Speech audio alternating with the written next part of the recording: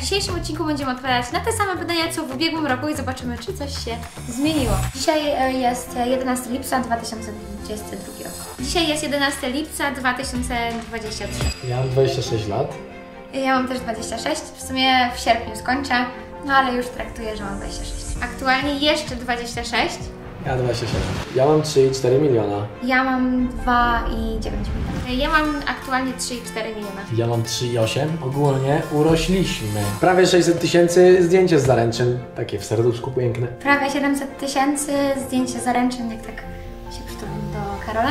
Albo ogłoszenie ciąży, albo pokazanie się już w całe, z całą rodzinką z Majusią. Chyba z Majusią. Obydwa te zdjęcia mają ponad milion w ogóle polubień. Ciąża ma o 10 tysięcy więcej. O, Ale ona była dawno wrzucona, więc zaraz się przegoniam. Bardzo często. Teraz jest chyba taki moment, że najczęściej kiedykolwiek jakby doświadczyłem tego. Myślę, że takie boom faktycznie już minęło i teraz to nie jest coś, co jest dla nas szokujące, ale faktycznie zdarza się tak, że wchodzimy do sklepu i po prostu praktycznie wszyscy nas znają. I to jest fantastyczne, ale faktycznie czasami bywa przytłaczające. No szczególnie jak na przykład y, nie masz humoru, na przykład, albo ci nie chce, nie? To ludzie nie wiedzą, że ci nie chce, albo że nie masz humoru. No to wtedy tak. Ale wiesz, to są takie rzadkie sytuacje. Ja mam wrażenie, że dalej nas gdzieś tam ludzie rozpoznają. Teraz, odkąd jesteśmy w trójkę, czy odkąd ja byłam w ciąży, to jakoś tak bardziej są do nas ludzie uprzejmi, bardziej wyrozumiali. właśnie wyrozumiali, szanują bardziej naszą prywatność. Takie to jest wszystko takie łagodniejsze, bo wcześniej to było takie chaotyczne jeszcze, jak nas ktoś widział, to od razu podchodził, krzyczał, a teraz tak właśnie bardzo tak spokojnie i mam wrażenie, że nawet fajnie jest teraz. Mniej teraz jeżdżę do miasta, więc w ogóle tak nie odczuwam tego, więc dla mnie o wiele mniej jakby mnie rozpoznają, ale to dlatego, że mniej jestem w miejscach, gdzie mogą mnie rozpoznać. Mój styl w trzech słowach to totalny mega luz. Zarobiste określenie. Zmienny, minimalistyczny i czasami kontrowersyjny. Ja ubieram się tak, żeby mi było wygodnie, to jest dla mnie najważniejsze. No i nie chcę promować innych marek, bo mam swoją, więc to jest ogólnie mój styl ubioru, czyli taki totalny mega luz. A ja mam zupełne przeciwieństwo Karola, czyli ja czasami nawet nie do końca patrzę na tą wygodę, ale patrzę w czym wyglądam po prostu dobrze i w czym się sobie podobam. Wiadomo, że ta wygoda też gra dużą rolę, ale jednak na jakieś wyjścia lubię się ubierać tak, żebym po prostu też trochę się wyróżniała, ale przy tym też, żebym mogła wyrazić swój styl ubioru. To, co mi kupi dziewczyna, to jest mój styl, znaczy narzeczona. Na pewno wygodny i prosty ogólnie taki, szybki styl. A ty? Ja w sumie odkąd byłam w ciąży, to też stwierdziłam już, że stawiam na wygodę, że jednak wygoda jest bardzo ważna istotna, ale też określiłabym, że mój styl jest minimalistyczny i też e, w sumie zamykam się zazwyczaj w takich stonowanych barwach. Czuję presję z, w sumie spowodowaną tymi dramami, które się działy wokół mnie, ale ona się teraz już coraz bardziej zmniejsza. Nabrałam z czasem dystansu i cieszę się z tego, bo im mniejszą presję odczuwam przez społeczeństwo, tym mogę się bardziej właśnie wyluzować, chociaż doszłam do wniosku, że największą presję mimo wszystko nakładam sobie ja sama. Od momentu rozpoczęcia domu ekipy to teraz czuję najmniejszą presję, więc ja mam mega chill. No ty kiedyś miałeś tak, nie? Że musiałeś dowieść daily, musiałeś Tak, zrobić ten tak, projekt, tak, ten no. projekt, a teraz tak jest większy Ale to wiesz, wrzuciłem sobie takie duże obroty, no i teraz już właśnie cokolwiek się nie dzieje, to jestem wychillowany, bo już powiedzmy dużo większy kawałek chleba miałem do zgryzienia, zgryzienia kiedyś, więc jest chill. Ja mniejszą. Ja dzisiaj akurat tak, ale ogólnie na co dzień nie, bo akurat dzisiaj jest taki dzień, że mam chyba dosłownie 10 nagrywek w jednym momencie, ustawiam. To ja mam zdecydowanie mniejszą presję, ale też, też dlatego, że mnie też od siebie trochę zaczęłam wymagać, zaczęłam być bardziej dla siebie wyrozumiała. Przez to też ta presja trochę, chcąc nie chcąc, się zmniejszyła. Ale oczywiście nadal chcę jak najwięcej pracować, działać itd., itd., ale mam wrażenie, że teraz jak nie dopilnuję jednej sprawy albo nie dodam filmu przez jeden dzień w ciągu całego roku, gdzie jestem cały czas systematyczna i staram się robić wszystko na 100, 110%, to po prostu nic się nie stanie. Jest kilka rzeczy, których żałuję, szczególnie w mojej twórczości internetowej. Między innymi tego, że nie weryfikowałam zbyt dobrze informacji, że czasami właśnie mówiłam za dużo, powinnam się ugryźć w język, że czasami brakowało mi asertywności, czyli na przykład nie chciałam w czymś wziąć udziału, a i tak brałam po prostu mimo tego, że nie zawsze czułam się z tym ok. No i niektórych e, mogłabym powiedzieć też, że, że współprac e, żałuję. Ja żałuję, że nie włączyłem ogrzewania basenów wcześniej. Nie mam takiej jakiejś super poważnej rzeczy. Wydaje mi się, że wszystkie rzeczy, które się działy, to mnie doprowadziły do tego miejsca i gdyby to miejsce było złe, to wtedy mógłbym zastanawiać się, czego żałuję, a skoro jest bardzo fajne, zresztą jak widać, no to chyba finalnie te decyzje były dobre. Jest taka jedna rzecz, która wydaje mi się, że mogłaby być, czyli przewarbowanie chmurki, bo to było zupełnie niepotrzebne, ale z drugiej strony to było mega sprowadzeniem takie dla mnie na ziemię, mnie. No i właśnie to jest to, że zastanawiam się, czy gdyby się to nie stało, to czy bym nie odwalił jakichś dwóch na, mocniejszych rzeczy, albo jednej nawet jeszcze mocniejszej. A tak to jakby na, to była dla mnie duża lekcja, no ale w sumie zupełnie niepotrzebne to było. Czyli podsumowując, nie ma takich rzeczy, które jakoś super żałuję, bo uważam, że one wszystkie mi dały lekcje i mogłem się na nich nauczyć.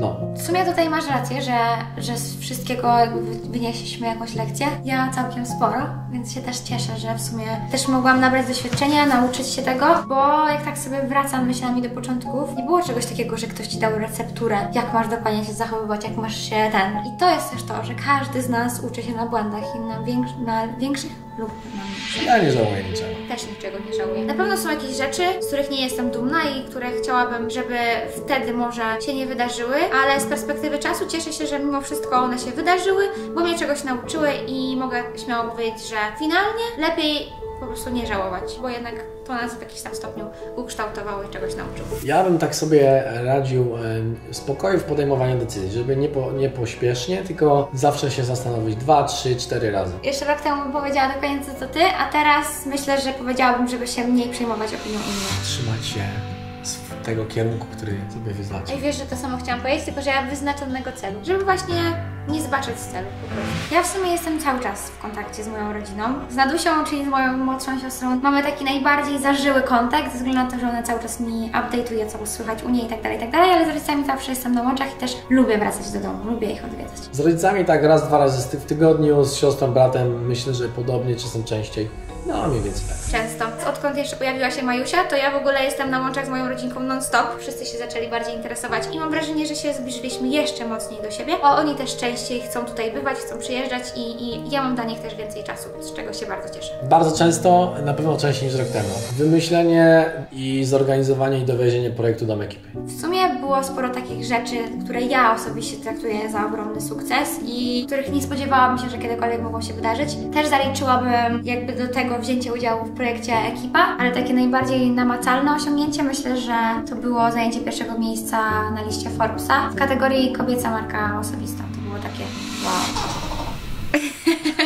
Majusia to powiedziała. Majusia jest moim największym osiągnięciem. Co prawda nie w karierze, a ogólnie w moim życiu, ale biorąc pod uwagę karierę, no to na pewno wyróżniłabym moje osiągnięcia muzyczne i w sumie wyróżniłabym tutaj też wizytę u Kuby Wojewódzkiego, z tego względu, że jak oglądałam zawsze ten program, to miałam takie wrażenie, że ci ludzie, którzy tam są, naprawdę coś osiągnęli. A ja myślę, że Twoje 52, ponieważ produkcyjnie to było coś, o czym zawsze marzyłem, żeby po prostu zrobić. To jest dla mnie takie moje największe osiągnięcie, że do tego momentu doszło, że mogę coś takiego stworzyć. Spokój domowego ogniska. To jest śmieszne, ale faktycznie tak jest.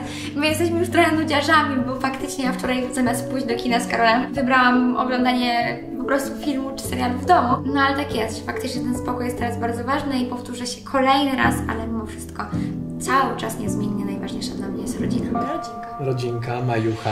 Bardzo proste, bo tutaj siedzi obok mnie ta osoba. A ja właśnie powiedziałam, że, że Karol, no. A to się zmieniło w sumie, nie? Tak trochę. W moim przypadku w sumie nie, ja zawsze do Ciebie. Nie, pierwsze zawsze, zawsze pierw pytałeś się w sumie Łukasza. Czasami teraz się tak już bardziej na, w pierwszej kolejności pytasz mnie i później idziesz z tym do Łukasza. Zależy, jakby był Łukasz był obok mnie, to bym zapytał go najpierw, nie? A że więcej czasu, czasu teraz jesteś obok mnie, to pytam Ciebie najpierw. No tak, w sumie tak. Że teraz jakby już przez to, że mieszkamy teraz tak w sumie tylko we dwoje, to to tak trochę zacieśniło, zacieśniło przed- między nami, nie? Że tak No, więcej jakby sobie też mówimy o jakichś różnych projektach, planach i tak dalej, też się pytamy w sumie siebie o zdanie. W pierwszej kolejności idziemy właśnie po jakąś radę do siebie, nie? Tak, tak, no. fajne. Szczerze mówiąc, ja teraz wydaje mi się, że do wielu osób. Do Ciebie mogę na pewno zgłosić Cię o radę i Ciebie Tak. najczęściej pytam o radę, ale w sumie też i do moich rodziców, do moich jakichś przyjaciół, rodzeństwa. To jest fajne. Zadbałam bardziej o te relacje niż jak wcześniej myślałam. Ja też właśnie wiele osób mógłbym e, tutaj wymienić naprawdę, no. Ale na pierwszym miejscu też bym. Space Orbital Booster od SpaceX.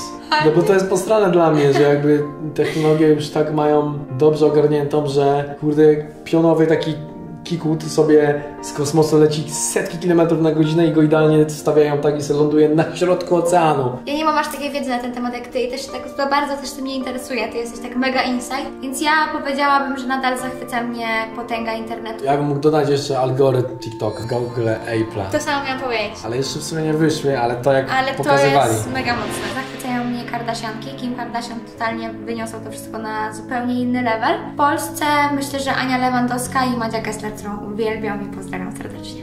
Muzycznie to dla mnie Doja Cat w tym roku bardzo, bardzo fajnie, a tak ogólnie osoba, która jest taka mega mocna, no to Elon Musk. To Mr. Beast, rozpierdziel, a z muzyków bym dał Okiego. To ja powiedziałabym, że z e, takiego światowego rynku to Zendaya, bardzo mi imponuje, a z polskiego to Martyna Wojciechowska. Moim najlepszym przyjacielem jest Weronika Moim najlepszym przyjacielem jest Karol. Wera, a poza Werą, no to ja bym powiedział, że Kamil. Kamil też jest moim przyjacielem. Zresztą bardzo mi się podoba to, że mamy teraz taki vibe z Kamilem i z Julą ogólnie, że tak, tak się z nimi przyjaźnimy. Z Wiką, z Karolem, ze Ślisą. Ogólnie tych przyjaciół mam wrażenie, że też przybyło. Samodzielnego skoku z spadochronem. Bardzo bym chciała. Bardzo bym To chciała. się zmienia u Ciebie, bo ostatnio mówiłaś nie i nie, ja nie robię, bo się Nie. boję, a później mówiłaś no może coś. No. Nie, ja mówiłam już rok temu, że bardzo bym chciała, ale że się boję, trochę się boję. Ale to nie tego, że się boję wysokości, tego wyskoku i tak dalej, tak dalej, tylko boję się, że może mogłabym bujać w obłokach w tamtym momencie, bo ja jestem trochę taką osobą, że dużo myślę i tak dalej. I na przykład boję się, że zapomnę czegoś zrobić, co zaważy na moim życiu. Po prostu, boję się tego. Ale bardzo bym chciała tego spróbować. No ja bym chciał wyskoczyć z śmigłowca, który sam będę pilotował, wtedy stejmie, wtedy przejmie drugi pilot i wylądować ze spadochronem na materacu ciągniętym przez jacht, którego również przejmę, ster, przejmę stery, podpływając do rafy kolorowej i pójdę tam nurkować. No i nice, no i nice. Ja wtedy podczas tego śmigłowca wyskoczę wtedy z Tobą. Też na tym wyląduję. Nie będę kierowała łódką, ale mogę Ci w tym czasie podawać bezalkoholowego drineczka. No i fajnie, ja bym chciał się hiszpańskiego nauczyć. Jeżeli o mnie chodzi, no to chciałabym wykonać sama skok y, ze spadochronem. Drugi skok ze spadochronem samemu. Drugi, bo to jest ciekawe, bo w pierwszym w ogóle nie wiesz o co chodzi, dopiero w drugim ogarniasz, że jakby totalnie nic nie ogarniasz i przestrane jest, no i w drugim dużo bardziej straszny od pierwszego. Myślę, że moja konfrontacja i wejście do pokoju z pająkami, gdzie było ich tam kilka tysięcy i miałam też na ręce tego pająka oraz y, myślę, że właśnie skok z najwyższego punktu w Europie y, na bungee. To też był takie coś, że się bałam, ale później byłam mega podjarana i akurat to mnie bardzo cieszyło. Po przełamaniu tej fobii nie było takie fajne. Drugi skok y, ze spadochronem, a na drugim miejscu pierwszy lot samodzielny śmigłowcem. Takie najstraszniejsze dla mnie rzeczy, które robiłam, to było wejście do pokoju z kilkoma tysiącami pająków i skok na bungee z najwyższego punktu w Europie. Gdy budzę się przy Karolu, gdzie przychodzi do nas rano chmurka, robimy sobie śniadanie, idziemy na spacer, w międzyczasie jedziemy do moich rodziców, widzę się z moją całą rodzinką. Wtedy jest taki dzień idealny. Mi mega radość sprawia takie właśnie w ogóle życie tutaj domowe, to, to raz. Dwa na pewno takie sukcesy zawodowe mega mi sprawiają radość. O, w sumie tego też nie wymieniłam, ale jakbym mogła jeszcze dodać, to tak na pewno sukces zawodowy, ale też ja uwielbiam robić rzeczy po raz pierwszy. Uwielbiam doświadczać. Jak Majucha robi coś nowego. Nowy dźwięk na przykład wydaje Jak baranek, jak robi, no, to, to prawda. Ale też ogólnie spędzenie czasu z Majuszą, z Tobą, z rodzinką. Ostatnio mam takie coś, że mogłabym powiedzieć, że każdy dzień jest taki fajny. Chęć próbowania nowych rzeczy, rozwijania się, to sprawia, że czuję, że mogę. Totalnie się z Tobą zgodzę. I tutaj znowu przydarzy to doświadczenie. Uwielbiam doświadczać i to mi daje coś takiego, że wtedy czuję, że właśnie się rozwijam, czuję, że przełamuję swoje kolejne jakieś bariery i prostu chce mi się to robić. Ale my w ogóle należymy do takich osób, którym się chce i, i to bardzo w nas lubię. Ja myślę, że takie zróżnicowanie tego, co robię, czyli że właśnie tu w domku mamy majuchę, zajmujemy się nią, jest projekt Gen Z, mogę tam coś zrobić, mogę coś zrobić do siebie na kanał, bardzo dużo różnych rzeczy, śmigłowce i tak dalej i to powoduje, że mam na każde 100% energii. Rodzina, najbliżsi, jestem też szczęśliwa z tego, jak moje życie wygląda, przez co chce mi się jeszcze więcej działać, chce mi się jeszcze więcej robić. Czuję się taki e, w kwiecie wieku, bym tak ujął. Nie wiem, czy to dorosły, ale na pewno nie czuję się stary, e, a jeżeli starość oznacza dorosłość, to nie czuję się dorosły. Ale jeżeli dorosłość oznacza odpowiedzialność, to czuję się dorosły. No więc to jest takie trochę ciężkie pytanie. Myślę, że y, no tak, czuję się dorosły, ale nie czuję się stary taki, nie? Ja się czuję dorosła i doświadczyłam to w momencie, kiedy faktycznie już sama podejmuję większość swoich decyzji życiowych, więc wydaje mi się, że to właśnie to oświadcza dorosłość i osiągnięcie tej dorosłości, kiedy właśnie sam zostajesz z sobą i to ty jesteś odpowiedzialny za swoje życie i to ty kierujesz zarządzasz tymi decyzjami, które podejmujesz. Więc wydaje mi się, że no tak, już jesteśmy dorośli. W sumie siedzi z nami już tutaj Majusia, więc możemy powiedzieć, sumie, że Teraz tak. już tak, no. I jest burza też. Nie było jej w zeszłym roku 21 dni w Afryce. Mój ulubiony film na moim kanale jest to film, kiedy pojechaliśmy po chmureczkę. Jest to najbardziej zapamiętany przeze mnie film, ze względu na to, że darzymy go największą sympatią. I to nie chodzi o to, że on jest najlepiej zrobiony, najlepszy montaż, najlepiej nakręcony, nie. Chodzi po prostu o to, że wtedy ta mała istotka tak dołączyła do naszego życia i najczęściej właśnie wracamy w do tego filmu. Zdecydowanie jest to film, kiedy Majusia się urodziła. Nie wiem dlaczego, ale jakoś ten film, jak go oglądam, to mam wrażenie, że się cały czas wzruszam. Z drugiej strony piosenka Ten jeden moment. Uwielbiamy te filmy, kiedy na przykład właśnie wzięliśmy buszkę, kiedy wzięliśmy chmurkę, kiedy Majusia się urodziła. To są takie filmy, do których najczęściej wracamy. A u mnie na kanale, no to też był film, jak pieski poznały Maję, to też był super. Z burzą u mnie był chyba też. Więc też był. A z takich filmów niezwiązanych z tutaj rodzinką, no to śledzenie Wery. To, że to się w ogóle udało, to był chyba w ogóle jeden z takich mocniejszych rzeczy, które zrobiły mi się wydawało. Oj, dużo było tych wyjazdów. Wymieniłabym jednak naszą Grecję, gdzie właśnie były zaręczyny oraz Malediwy. Kurde, no właśnie, nie da się tak jednego wybrać. I Hawaje, ponieważ tam najbardziej byłam zafascynowana przyrodą i one po prostu były bardzo fajne. Hawaje albo, albo Grecja, to byłoby to, nie? Bo tutaj zależy pod jakim kątem trochę patrzymy. Między nami miłośnie, no to wiadomo, że Grecja, a tak właśnie rozrywkowo, no to znowu Hawaje, więc te dwa wyjazdy top. Bardzo fajnie wspominam naszą rocznicę z ubiegłego roku, była mega fajna. No. Tak samo wyjazd do Tajlandii czy wyjazd na Bali właśnie z dziewczynami, to były moim zdaniem takie top wyjazdy. Zgadzam się. Moim marzeniem na przyszły rok jest spróbowanie jeszcze raz e, jakoś e, namieszać na YouTubie. I moim marzeniem na przyszły rok jest faktycznie zrealizowanie tych moich planów dotychczasowych i też naszych wspólnych, czyli można powiedzieć, że ślub, wydać płytę i, i, i zrobić trasę koncertową, ale też zobaczyć Majusię, jak już zacznie chodzić. Ja bym chciał e, dom w Hiszpanii, nie wiem czy to ten przyszły rok, czy jeszcze, jeszcze przyszły. Ale już żeby przyspieszyć, zróbmy, że przyszły. Okej. Ja zawsze właśnie jak sobie tak robiliśmy rzeczy, to miałem takie przeświadczenie, że ch chcę przekazać ludziom, że ciężką pracą i chęcią i właśnie takim dobrym w ogóle nastawieniem można osiągnąć, co się chce, jak bardzo się tego chcesz i się oddasz w 100%. Tu chciałam właśnie być pierwsza, bo wiedziałam dokładnie, że to powiesz. I ja też to chciałam powiedzieć, ale tak bardzo szybko i dwusłownie. Tutaj się z Tobą zgodzę i totalnie miałam to na myśli chciałam to powiedzieć, że po prostu wszystko jest możliwe, jeżeli tylko wystarczająco się chce. Jeśli tylko macie możliwość, to żeby powiększyć rodzinkę, bo to jest super. Ja w sumie się dołączam, ja wszystkich znajomych cały czas zachęcamy, żeby powiększali rodzinę, bo jednak to jest najważniejsze. Właśnie ci ludzie, ci bliscy i wspomnienia, które wspólnie budujemy. Moja ulubiona książka, no to Phil Knight, Sztuka Zwycięstwa. Jeśli chodzi o serial, to Ricky Morty, a filmów tak za bardzo nie pamiętam tytułów. Oglądam filmy tak bardziej rozrywkowo i tak nie, nie, jakoś nie wchodzą mi w pamięć w ogóle. Ale to jest w ogóle mega śmieszne, bo jak my zaczęliśmy się spotykać z Karolem, taki fun fact, to Karol bardzo dużo oglądał YouTube'a, a seriali i filmów prawie w ogóle. Żadnego serialu nie No, no i dopiero Pierwszy my, serial z tobą oglądam. Tak, i dopiero w sumie tak ze mną Karol zaczął oglądać też jakieś seriale, filmy i tak dalej, i tak dalej. Ulubiony serial to Dom z papieru, bardzo mnie wciągnął. Moja ulubiona książka zatytułowana jest Jak mniej myśleć, a jeżeli chodzi o kategorię filmy, to jest ich mnóstwo. Taki polski film, który najbardziej mnie wciągnął, to film zatytułowany najlepszy, ale takim zupełnym przeciwieństwem tego filmu, który mnie zawsze bawi, który najczęściej oglądam, jest to film pod tytułem Nigdy w życiu. I ostatni z takich e, filmów zagranicznych to bardzo mi się spodobał film Elvis. No totalnie biograficzny film o Elvisie. Serial Narcos, film Babylon, a książka Sztuka Zwycięstwa. U mnie serial La Casa de Papel, film e, Elvis lub Babylon, a książka to nie mogę się za wiele powiedzieć. Podtrzymuję tą z ubiegłego roku, bo teraz najwięcej książek jakie przeczytałam to po prostu o tematyce ciążowej. I to na pewno nie są moje ulubione.